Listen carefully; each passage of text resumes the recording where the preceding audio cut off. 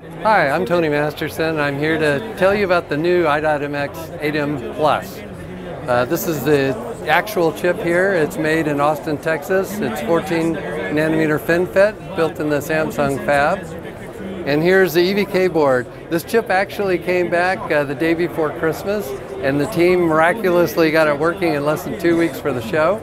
Uh, so what we're showing off here is the neural network accelerator that is built into the uh, 8M Plus. And what you see here are three neural networks running at the same time on the accelerator. The first one finds your body, that's the yellow box.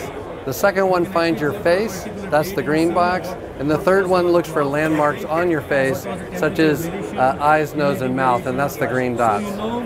So what's exciting about this part is that it's bringing machine learning to the masses. Uh, this is uh, meant for the edge, so by bringing machine learning to the edge, uh, it'll open up a, a, wide range of new applications in the home where it can recognize your face and play the music you like to hear or play the TV shows you like to watch.